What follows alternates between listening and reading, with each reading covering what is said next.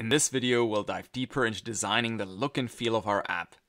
To design what elements are shown on screen, we'll be working with a layout XML file.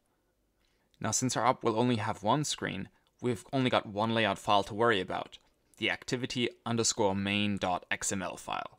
What you see on your screen right now might not exactly mirror what I'm showing you at the moment. First off, notice there's a toggle between the source code of the layout file and this design view. I've got the design view selected at the moment. Selecting text here at the bottom will show the source code of the layout file instead. Also, there's different ways for you to style the preview in the middle of the screen. In the toolbar above the phone preview, we can set if we want to show the design or show the blueprint, or show both the design and the blueprint. If we have it set to blueprint, we only see the outlines of the components on screen. Now, finally, what's shown in the middle of the preview will depend on what came shipped with the template when we created the project. Now, since Android Studio updates over time, each version of the software has a slightly different starting template. In Android Studio version 2.3, the template comes with a constraint layout and a text view. For this video, we're not going to be working with the constraint layout just yet. Instead, we'll be working with another type of layout to help us understand how to arrange things on screen. First, we're going to make sure that no matter when you're watching this video, that both you and I have the same starting point. Otherwise, it's going to be really difficult to follow along. And to do that, we're going to delete all the components that came with the template, like this text view here. So switch over to the source code in the layout file by hitting the text toggle at the bottom, and then copy all the XML code in the description of this video to replace the source code in the layout XML file. Simply select all and then hit paste. When we switch back to the design view, we can see that we're going to be working off a relative layout in the component tree. Now the goal of this tutorial is to get you familiar with designing a layout. As a first step, we'll be designing our layout with a particular device in mind. And only afterwards will we show you how to design a layout that looks good on various different screen sizes. So the first thing I will do is adjust the preview so that it mirrors a device on which I will install my app. So I've got an older HTC, which is 4.7 inches, which matches the dimensions of the Nexus 4. If I was designing for a larger phone, I could pick the Nexus 6P, which is 5.7 inches. Or I could even pick the Nexus 9 if I was designing for a tablet. If you're not entirely sure of your phone's screen dimensions, you can always head over to GSM Arena and search for your model. I always wondered how big those exploding Galaxy Note 7s were, and it turns out they're 5.7 inches. So that's quite a big phone to be catching fire. So if I had a Galaxy Note 7 lying around and I wanted to design an app for it, I would probably pick the Nexus 6 preview, so that what I see in Android Studio will be closely mirrored when I run the app. Next, we want to drag a button on screen that we can press to roll the dice. Click and drag a button from the palette to the screen preview. Move the button into place so that you can see the dotted lines showing that the button is centered in the relative layout and let go. Now you've done exactly what I've done. You should be able to check the source code and see the following two properties. Click on text and you should see layout center vertical and layout center horizontal set to true. This indicates that the button will be centered within its container. Now let's change the button text. After all, Having a button read button isn't very useful. Remember, the best place to store arbitrary text like this is within the strings XML. So let's open it up here and add a new string. Let's call the string button text.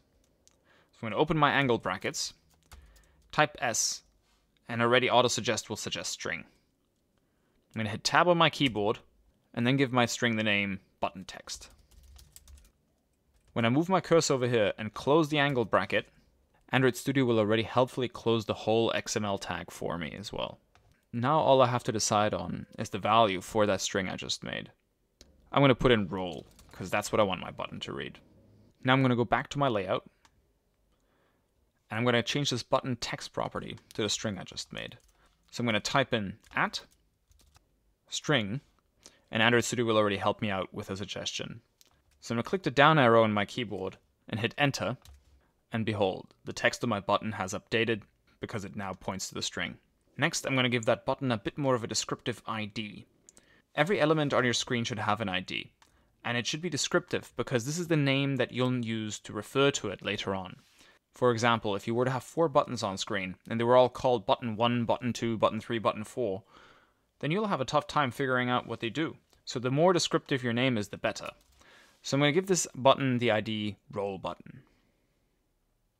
And this is how we'll refer to it later on. So for those of you who are watching the video and building the app alongside me, I've got a mini challenge for you.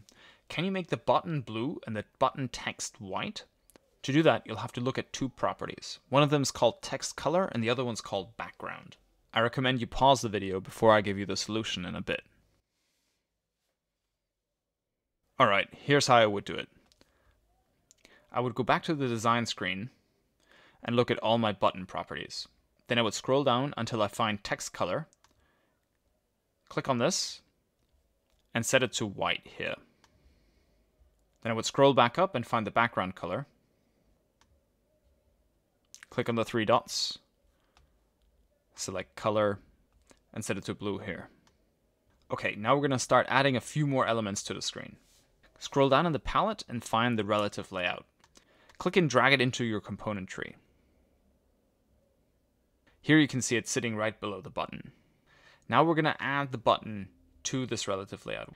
We're going to put the roll button inside this relative layout. And we can do that simply by selecting it and dragging it down slightly so that black arrow is right here and letting go. Now you can tell by the indentation that the roll button is inside the relative layout, which is inside another relative layout. Let's check back to the source code. Click on text, and you should see here that the indentation of the XML code reflects what we saw in the component tree. Now, we want to change the top level layout to a linear layout. And we can do that very easily by selecting the opening tag here and by typing lin and then using autocomplete to insert the rest for us. When I hit tab, both the opening tag and the closing tag are updated to read linear layout. You can think of all these layouts as containers for arranging things on screen. You'll see how this works exactly in a bit. A linear layout will arrange its contents either vertically or horizontally. And we can set this in a property. So if we come in here and type orientation and hit tab, we have a choice of setting the orientation to horizontal or vertical. Pick vertical and hit enter. Now let's set the background for our app simply by adding the background property to the linear layout. Start typing back and use autocomplete to help you out. Hit tab and then scroll down until you find at drawable new background and hit enter. Great. So now we've got that nice felt canvas thing going on. Let's switch back to the design view and then add another relative layout to our component tree. Now you'll notice it can be a bit tricky putting this in the right place. What you want to do is you want to have that little black arrow pointing at activity underscore main at our topmost linear layout. If you do that, you'll have the same indentation between these two layouts. However, if you missed, you might end up with something like this, where you've put this new relative layout inside the layout where you've got the button. So just click and drag it back up to make sure these are indented by the same amount. Next, we're going to add an image view to this relative layout that we just added. So we're going to scroll down and from the palette, we're going to grab this image view here drag it down to the component tree, and let go when that black arrow is to the left of the new relative layout. Then we're going to select our Las Vegas Dicee logo, click OK. Fantastic. So in the component tree, we now have a relative layout that contains an image view, and another relative layout that contains the roll button. But wait a second, where's the button on the preview? It's uh, It looks like it's off screen.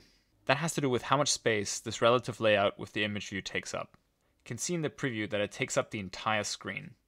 So let's take a look at these properties. We've got layout height set to match parent. The parent is whatever is indented to the left. So the parent of the relative layout is the linear layout.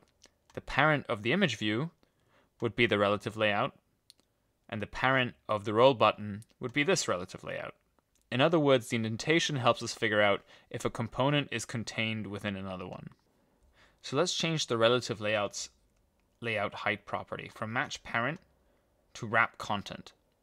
This means that the relative layout isn't going to be as big as a screen anymore. It's only going to be as big as whatever it contains, which is the image view with the Dicee logo.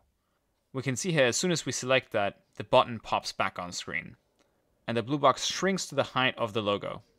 Note, we've left the layout width set to match parent, which is why the blue box still goes across the whole screen. Okay, let's add another layout to our component tree. This time we're going to grab a horizontal linear layout. We're going to drag and drop it so it's in the same level as the two relative layouts.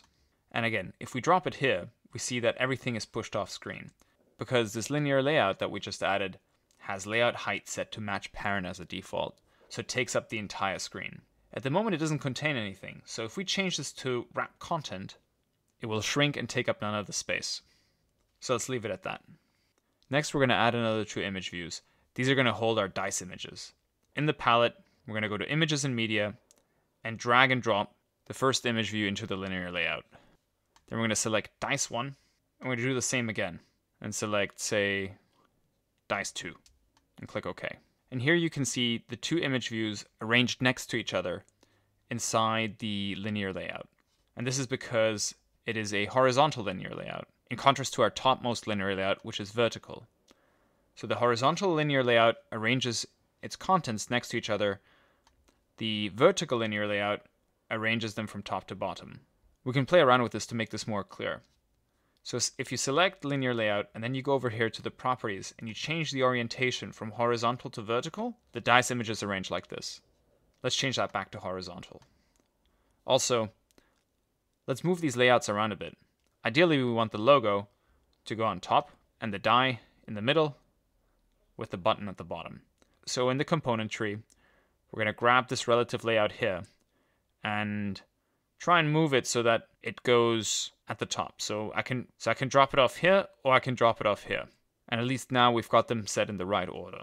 The other thing I want to show you is that you can do more than just set the layout height to wrap content and match parent. These are essentially rules used to tell the relative layout how to size itself. However, you can also give it a hard value. For example, if I put in 150 dp and hit enter, then my relative layout will shrink to 150 density independent pixels. And if I set that value to something like 300 dp, then I'll get a bit more space below the image. To make this look good on an Nexus 4, I would probably have to set it to around 250 dp. The other thing I might want to do from a design perspective is I want to set a rule somewhere to center this logo. And I have two ways I can do this. If I click on the image view that contains the logo and I look through the properties, I will find a property that says layout center horizontal and if I tick it, my logo will be centered in the middle of the screen. Another way to do it is to select the relative layout itself and find a property called gravity. Here you would be setting the rules that apply to all the contents of the relative layout. So if there was another image view inside or a button, this would apply to all of the components that are nested inside this relative layout. So if I click on gravity and I say center horizontal, I would be able to accomplish the same thing. Now remember how we were talking about giving the individual elements a descriptive name?